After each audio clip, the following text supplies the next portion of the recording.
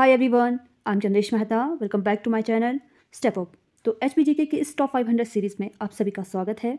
Part one and part two में हमने एक से लेकर 200 क्वेश्चन तक को सॉल्व कर दिया है।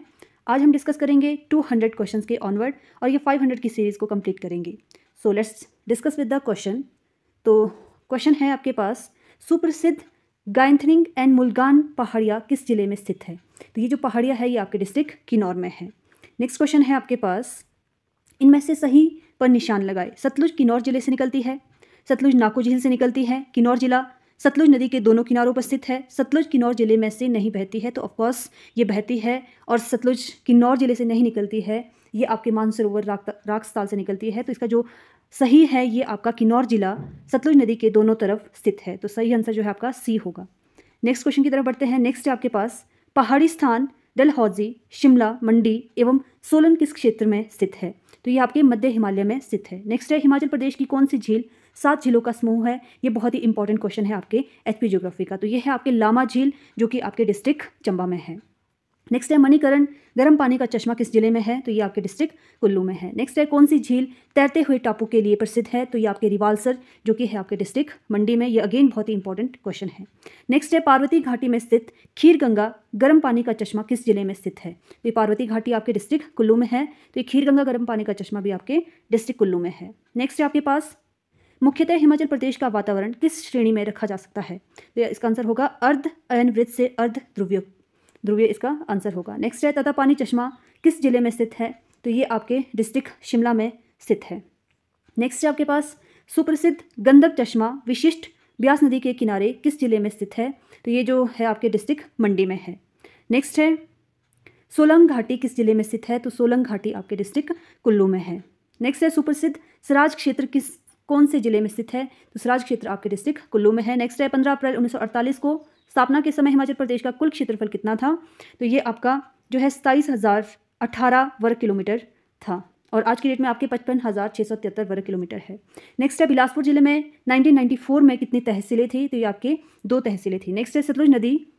बिलासपुर ज़िले में किस स्थान पर प्रवेश करती है? तो एक कसोल नामक स्थान पर बिलासपुर ज़िले में जो है सतलुज नदी प्रवेश करती है। नेक्स्ट है सुप्रसिद्ध चौंतो घाटी किस ज़िले में स्थित है?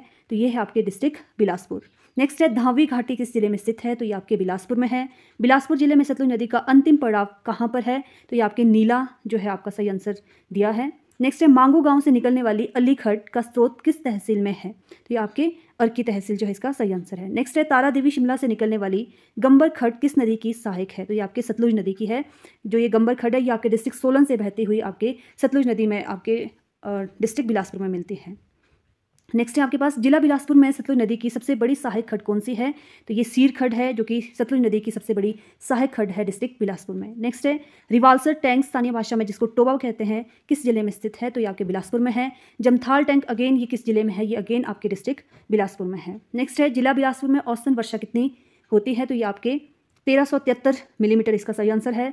नेक्स्ट है लुंड और ददराना चश्मे। किस ज़िले में स्थित है? तो सही आंसर है आपका बिलासपुर। नेक्स्ट है आपके पास उन्नीस सौ छियासठ में पंजाब पहाड़ी क्षेत्रों के विलेज से हिमाचल प्रदेश का कुल कितना भूभाग मिला था?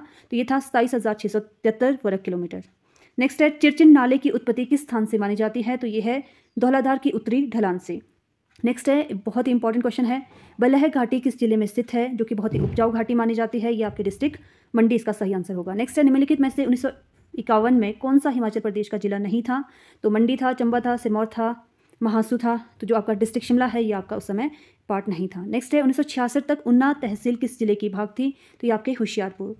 नेक्स्ट है आपके पास, उन्नीस सौ छियासठ में हिमाचल में विलेज से पहले नालागढ़ क्षेत्र किस ज़िले का अंग था? तो ये आपके अम्बाला का था। नेक्स्ट है संगवाड़ा टैंक किस ज़िले में स्थित है? तो ये आपके बिलासपुर में है। निकोड़ा दरा, जिसकी ऊंचाई सैंतालीस मीटर है, किस ज़िले में स्थित है? तो ये आपके जो है, सही आंसर होगा कांगड़ा एवं भरमौर। नेक्स्ट है, कौन सा जिला चंबा ज़िले के दक्षिण पूर्व में स्थित है? तो चंबा ज़िले के दक्षिण पूर्व में आपका डिस्ट्रिक्ट कांगड़ा है। नेक्स्ट है, हाथीधार कौन से ज़िले में स्थित है? तो हाथीधार आपके डिस्ट्रिक्ट चंबा में है। नेक्स्ट है, कौन सा जिला चंबा ज़िले के दक्षिण में स्थित है? तो ये आपका, इसमें जो दिया था आंसर की में, वो आपका गुरदासपुर।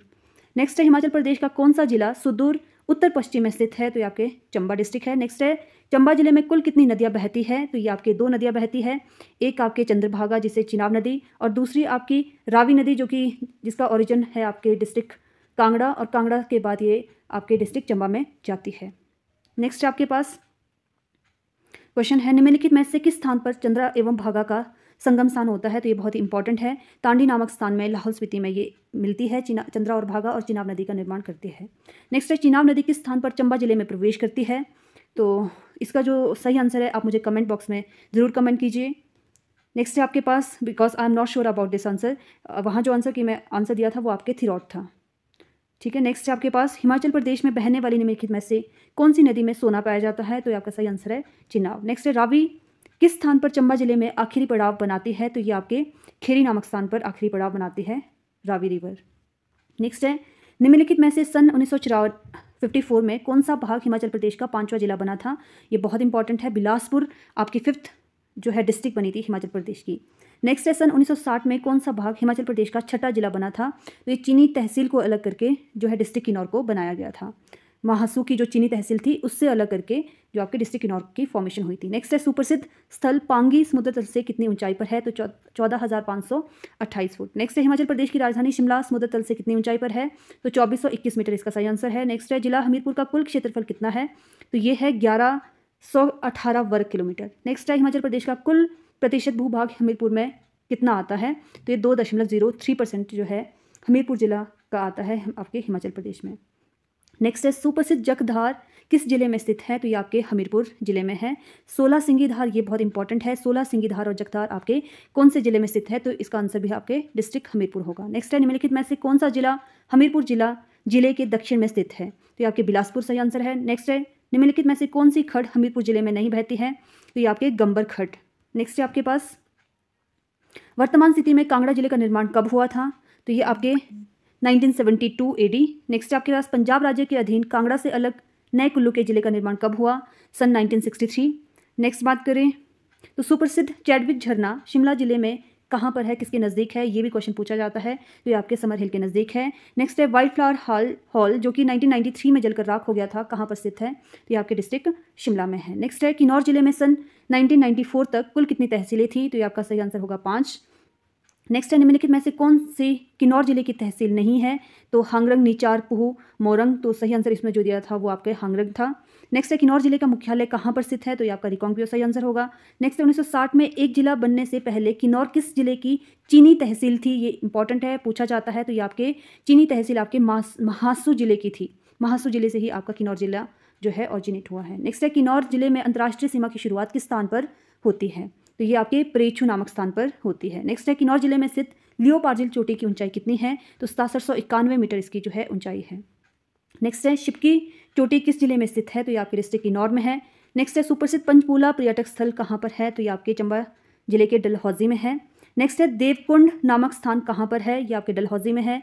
नेक्स्ट है, रेहला झरना किस ज़िले में स्थित है? जो कि ठंडा, ठंडे पानी का झरना है, ये आपके डिस्ट्रिक्ट कुल्लू में है, ये भी आपका इंपॉर्टेंट है।